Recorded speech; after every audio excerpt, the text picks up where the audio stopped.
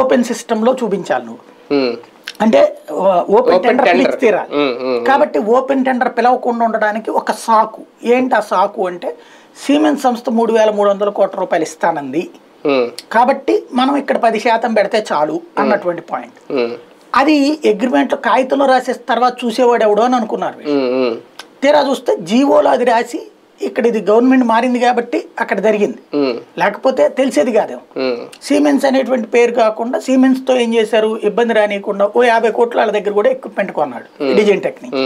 Design tech నుంచి ఖర్చు పెట్టింది ఆ యాభై కోట్లే సీమెన్స్కి ఇచ్చింది. ఎందుకు? రిసిప్ట్ సీమెన్స్ పేరుతో ఉంటుంది. రేపు అడిగితే చూపించడానికి అది.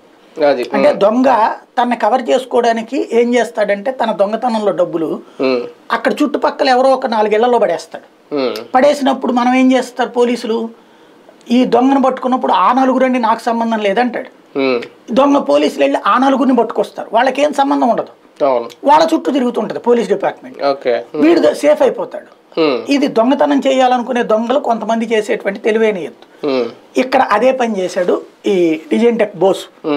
చేసి దాని ప్రకారం డబ్బులు ఏం చేశాడు దాంట్లోనే? అంటే తను ఆ విధంగా సిమెంట్స్ నుంచో యాభై కోట్లు కొని సిమెంట్స్ నుంచినే మా ఒప్పందం అన్నటువంటి విధంగా భ్రమ కల్పించేటట్టు చేసుకొచ్చాడు. Hmm. ఎక్విప్మెంట్ సిమెంట్స్ కనబడుతుంది కొన్ని చోట్ల.